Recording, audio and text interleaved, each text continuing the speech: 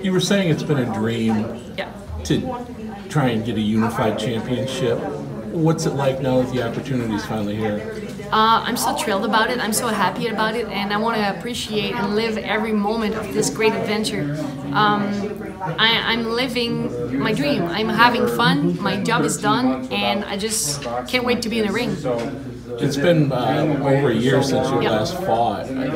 What's that been like, being laid off that much? It was terrible for me. I'm a really busy fighter. I fought four or five boxing fights as a professional in the year. So for me being off that long of a period, it was terrible. I had to dig deep. I had to hustle. I had to I try to challenge myself because I'm a girl of challenge. So I had to, to try to find some new challenges to keep me motivated.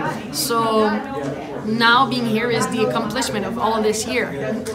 Fighting in Claressa's hometown. Do you Yeah. think that's going to be a factor at all? Well, for Because sure the crowd's not that big. No, well, no, it's not going to be that big, but it's going to be that loud. I expect that the crowd is going to be loud, and that's okay because when I found it in my hometown, it's the same thing. I think it just adds some stuff at the challenge, and the bigger the challenge is, the best my response is, so it's good for me. Now, when you get in the ring with her, do you uh, try and counter what she does, or do you just fight your own style? I'm going to fight my own fight. That's what I did my whole career, and that's what I'm going to keep doing. Got a prediction for us? Yeah, it's going to be a great fight. Okay. Good luck. Thank you.